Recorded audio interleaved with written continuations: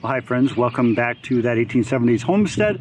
I am Todd and for the first time in probably three months you get to see me film a video without a hat on. Finally got my hair cut. Rachel did it up nice for me.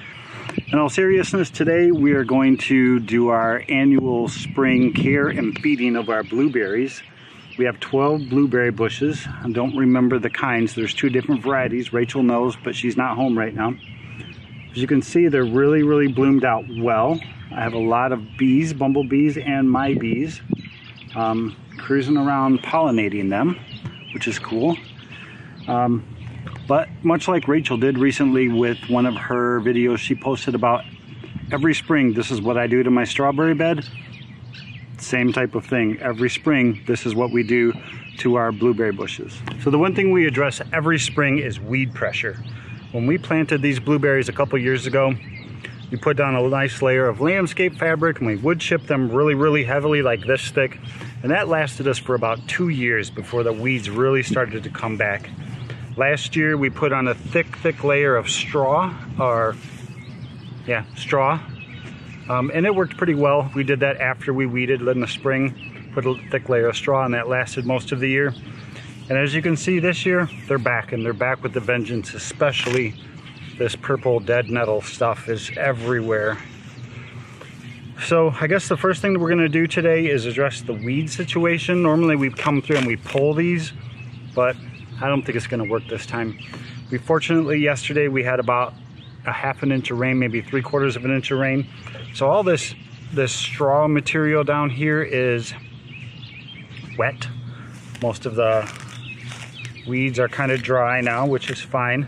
But I think I'm gonna flame weed this year. And Rachel was kind of worried about the flame weeding, but I think I have a solution on how to protect the blueberries while harming the weeds. So I know that there's absolutely no way I'm gonna be able to safely burn the stuff that's right around the base with uh, with the flame weeder. Some of that's gonna have to be done by hand, I understand. I wanna remove the bulk of this in a, in a quick and efficient manner.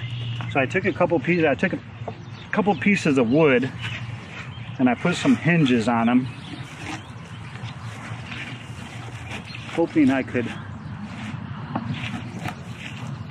set it up like this and protect the plant, flame weed around it, shift my shield, flame weed around it.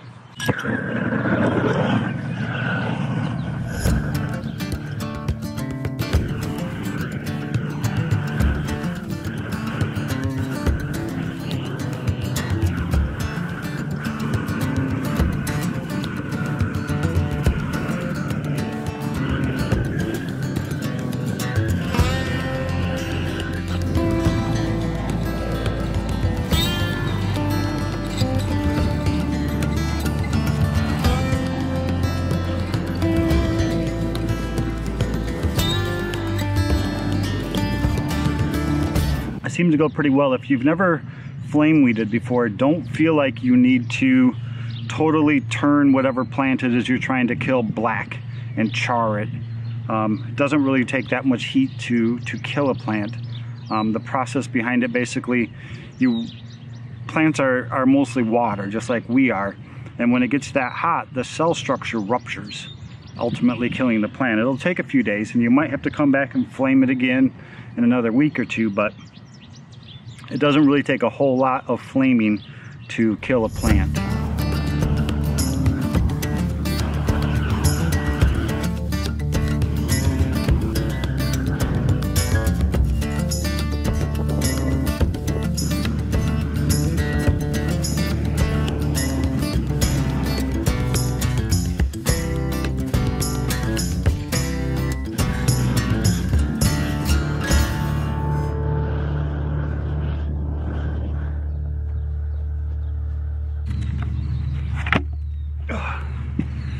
So my little wooden shield seemed to work quite well. Some of the plants have like these little black stuff at the ends, but it's not for me. I think it was from the frost that one night. It's like just the tips of every little branch have that.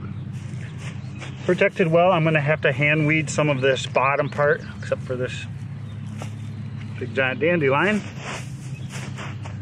Some of the straw was way drier than I thought it was and caught on fire a lot, so I had to do a lot of stomping, but you can see a lot of this stuff is already um, starting to die just from that. It's like all slimy and so at the end of this video, I'm gonna come back out here in the next day or two and I'll, I'll film some footage of how it looks now that it's sat for a few days, just so you can see how, how effective flame weeding can be.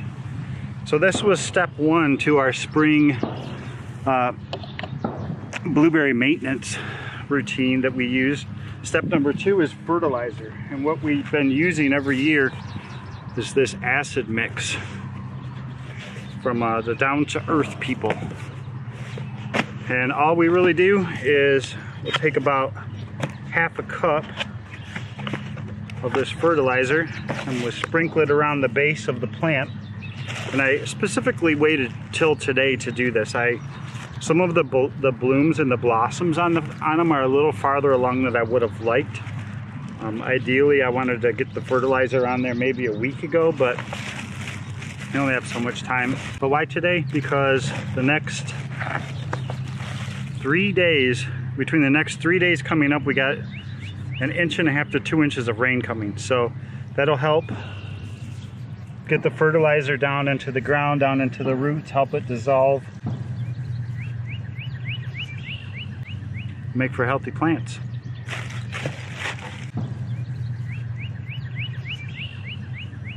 Well, it's not a couple days later as I planned. I've been out working all day. I've been mowing the back here. Mowed basically almost the whole yard. There's a couple spots that are just too wet. But when I was mowing, you could see really good evidence of kind of what went on here. Things are pretty crispy. All this uh, dead nettle stuff just shriveled right up. But you can see some spots where I missed. I didn't get this one very good.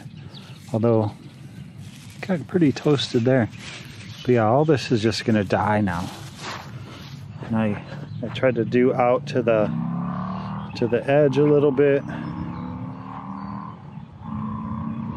Some of this grass is like this. Some of the stuff is, uh, you got to hit it twice. This stuff can be really resilient. That you can see down in here where the blueberry, I had it protected with the wood.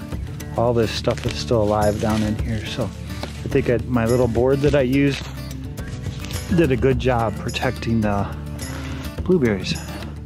So we've only been growing these blueberries for about three years now. So if you're an experienced blueberry farmer and you've got some tips to share with me, things that we didn't already cover in this video, leave them down in the comments. I'd love to check them out.